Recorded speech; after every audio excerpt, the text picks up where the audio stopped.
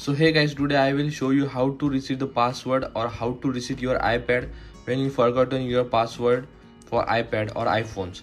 So this trick is very helpful for you.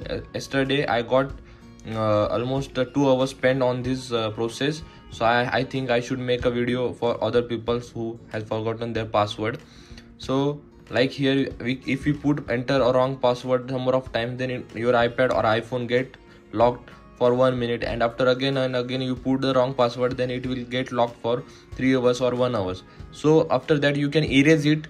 The, all data will be um, erased of your uh, ipad and you cannot uh, uh, if you have backup then it's okay but uh, if you don't have backup then all data will be erased. So guys what you have to do you have to install itunes on your macbook or windows. If you have windows pc then you it should be windows 10 or above after uh, installing the itunes you have to plug in your uh, lightning cable to your ipad and uh, pressing the home button simultaneously while you are putting the uh, lightning cable. So you will get onto recovery mode like restoring mode like here. Here you will find two option like uh, uh, restore and update and only restore option.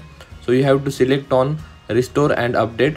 Then it download will be started here like you can see uh, 4.56 GB uh, uh, iPad OS update downloading here. So it will get downloaded and automatically installed on your iPad. But in my case that was not working so I have installed uh, update first through update option only. And after that I, I came back to restored mode.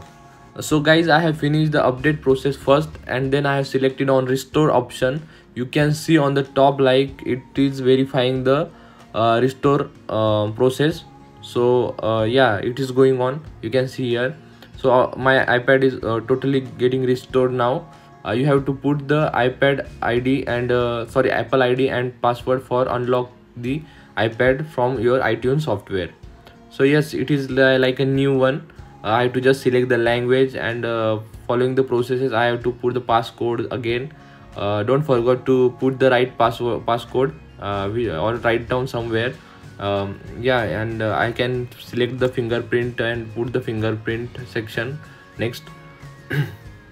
So that's great. Yeah you don't need to go apple service center for just uh, resetting the passcode. Yeah your uh, data will be erased uh, erased for uh, uh, for whole process if you have a backup then no problem but if you you don't have a backup and you are going to erase your ipad or restoring your ipad or iphone then all data will be erased. So keep in mind that uh, you have to uh, taken a backup first and then you you can do this process. Uh, yeah so i have done the process. Maybe this video will help you to uh, resetting the passcode or if you have forgotten your passcode you will get the um, uh, uh, get it restored at home. You just need to have a macbook or ipad sorry windows pc and uh, installed uh, itunes uh, on your windows pc and macbook. Macbook already have it but on windows pc you have to install itunes. It should be windows 10 or above then you can do it. Otherwise you have to update your windows pc first and then you can install itunes. So that's great. Please like this video